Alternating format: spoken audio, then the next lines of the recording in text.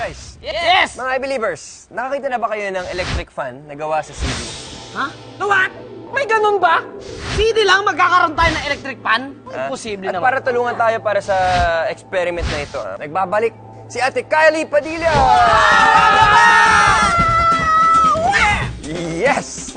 Unang experiment pa lang, papahangin na tayo. Grabe, mahangin siguro yan talaga, no? Ito yung mga kailangan natin. CD, syempre. PVC pipe. USB cable. Toy motor or uh, dynamo. Laptop. Or, kung wala kayong laptop, pwede rin naman ang power bank. Blade, scissors, and glue gun. Gugupitan natin ang CD kaya using the scissors ka, or Kuya the blade para magmukha siyang ganito. Yan ang sinasabi ko sa inyo, mga believers. Para magmukha siyang ah, LC. Using a, a USB cable. USB. Ang ginawa ko, ito yung dulo niya eh.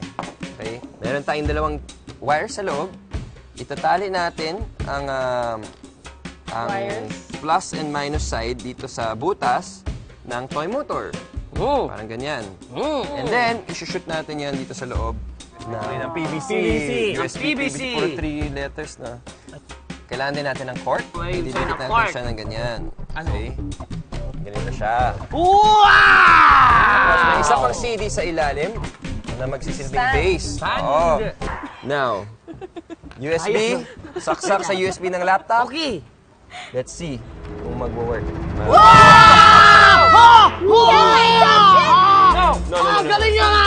I believe! Yung dynamo o toy motor ang nagbigay ng power sa ating CD fan.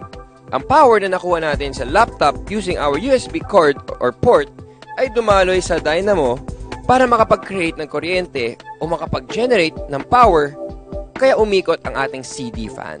I believe.